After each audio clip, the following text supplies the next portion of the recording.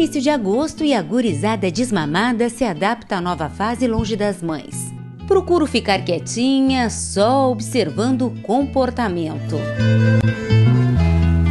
Neste grupo, 80 potras.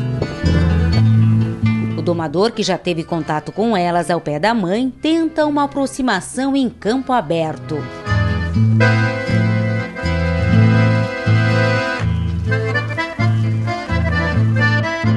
Os potos, quando vêm para mim, eu não sei quem é eles. Eu só tenho. São poto. E aí eu começo a mexer e alguns que se destacam eu vou marcando, né? E essa depois que ela teve um, uns dias, dois, três dias de pega, que eu fiquei sabendo que era filha da guria bragada. O domador se refere a Bocal de Ouro 2016.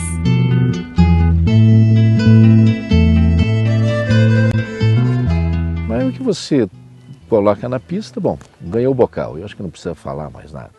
Funcionalmente é uma égua extraordinária. E se você colocar uma criança em cima delas, uma égua confiável, uma égua que reproduz maravilhosamente bem. É um animal de exceção. A guria bragada hoje para mim é um animal de exceção.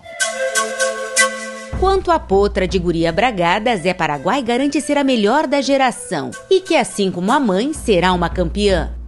Os sinais são bem claros de um bicho que tem habilidade para o futuro, assim, porque a, a, a, ela mostra isso.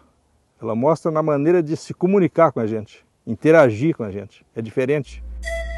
O olhar tranquilo de Guria Bragada reflete a paz de um animal em harmonia. Que sabe o momento certo de explodir.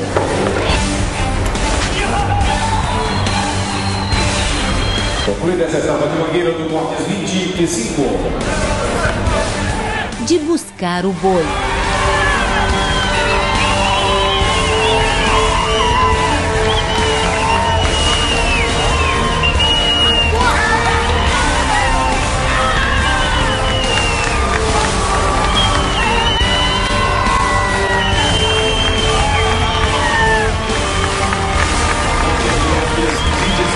Craque assim no boi, corre boi, faz mangueira, é uma égua extremamente vaqueira, sabe?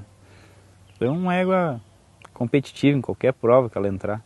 E foi esse equilíbrio que encantou o ginete Antoneto Rosa. Além dela ser uma égua bem boa de função, assim, uma égua muito mansa, sabe? Uma égua que eu trabalho ela aí e entrego para qualquer uma criança, qualquer uma pessoa andar e, e vai andar tranquilo, sabe? Não é uma égua, égua extremamente mansa, assim. Guria Bragada, filha de Macanudo, lá é Simalque Mimosa.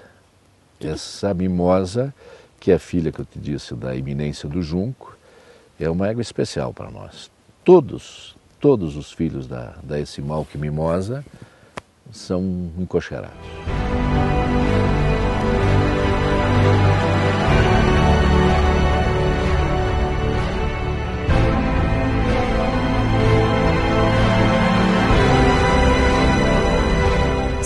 Está disposto a sonhar grandes sonhos e fazer de tudo para alcançá-los, é isso que basta.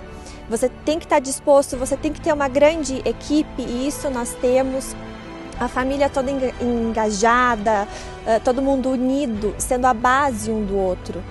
É, e isso é o que nos leva a estarmos hoje, onde estamos sempre buscando crescer, sempre sonhando com mais mas é como se a gente sempre olhasse para trás e, e, trouxesse todo mundo junto. Tem que estar tá todo mundo reunido, a, a família é, nesse contexto.